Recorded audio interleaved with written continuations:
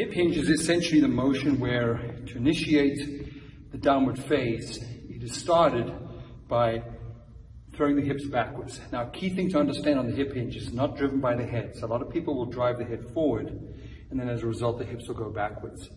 You don't want to do that because that displaces your center of mass. The idea is on hip hinge is to initiate with the hips, throwing them backwards, and as a result, the head will go forward.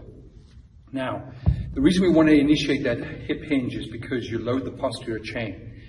Your glute being the strongest muscle in a bend and lift movement, we want to stretch it like a rubber band so that when we start coming up, we can harness all that potential energy into kinetic energy and help us drive it upwards. But also, if you put your hands on your hamstrings and you actually just drop your hips straight down in what we call a quad dominant, as you come out of this squat, you're really just using the quads to extend the knees and that's lifting you up. And the problem with that is that, first of all, you're using a much weaker muscle. Number two, there's really no assistance from really in the hamstrings. And number three, causes knee hyperextension. Put your hands on your hamstrings and you just do that quad dominant squat, you notice there's really no tension in the hamstrings. However, if you hinge, you notice a bit of a tension buildup in the hamstrings. And the reason for that is because even though you are bending at the knee, the hinging is creating a tilting of the pelvis. And that's lengthening the hamstring at the origin. So the net sum is an isometric load into the hamstrings. If you think about it, the hamstrings insert behind the knee on the tib and fib. And what it's doing is actually keeping those bones close to the femur and that helps unload the ACL. We have to understand the difference between a hip hinge, which is used oftentimes in a deadlift, with a kettlebell swing, things of that nature, and what we call the mini hinge, which is used in a squat. Because if you look at my body, as I hinge backwards, as a net result, my head goes forward. Now, this is a lever. There's the fulcrum at my hips. When you add mass to the length of the lever, it gets progressively harder to hold that lever straight. So for example, that is a lot easier to hold with my force in my hand than this is. So when you start taking yourself from vertical position into this position, you now have a lever that has to support the forces of gravity. If you have a load out here, think of a squat, which is going to be on the back of your neck. The problem you're going to have with that is going to put a lot of stress into the back.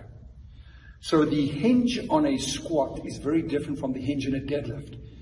because essentially on a deadlift, the weight is here and we can move it so we can move the bar to keep it close to the fulcrum. And in fact, we do that. As we hinge on a deadlift and we throw the butt back, the bar can kind of follow, right? Whereas on a squat, it's up here. So if you did a traditional hinge, look at this displacement of the bar from the fulcrum. The problem you're going to have is number one, you're going to fall forward, fall on your face. But number two, you're going to also put a lot of stress on the back. Just drive the hips backwards, and as a result, your torso will go forward. But the key thing is to try and preserve a neutral spine.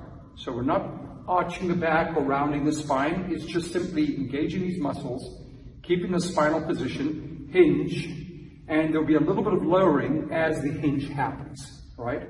But let the hips be the driver and let the head follow. So the hinge on a squat actually involves very little forward translation of the head. So if you look at the difference right here, this is a traditional hinge. See how much movement there is of my head?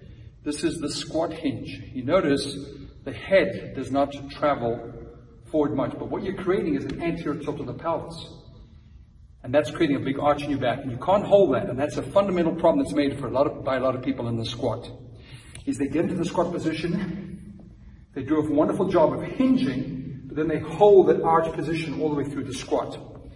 That's not what you've got to do. You've got to actually engage your abdominals significantly to correct that lordotic curvature in your spine and then hold that position as you go down. So it kind of looks like this. You're here, you're hinging, see that arch in my back?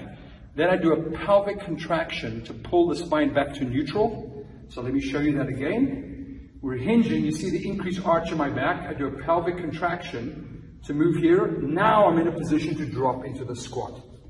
So the hinge on a squat has to be taught very differently than the hinge on a deadlift. Another way you can practice this is go to a wall, stand really close to the wall, and hinge. If you do a traditional hinge, you're going to headbutt the wall. Don't let that happen.